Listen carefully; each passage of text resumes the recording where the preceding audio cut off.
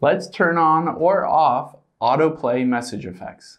Now, the iPhone has the ability to have these message effects. I'm gonna show you what they are. Let's hop into messages here, and I'm just gonna send myself a message. You might have seen this if somebody texts you happy birthday. You can see that it should come up, there you go, with bubbles and it vibrates a little bit. These are message effects. You can either turn them on to autoplay or turn that off. To do so, let's hop out here and open our settings. And then we will tap on accessibility and then motion. You can see the third or second option is autoplay message effects here.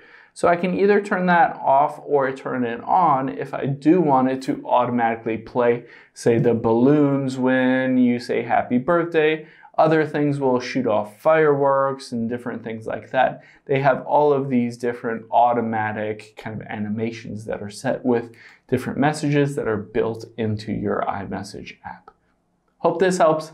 Thanks for your time today, and I'll see you on the next one.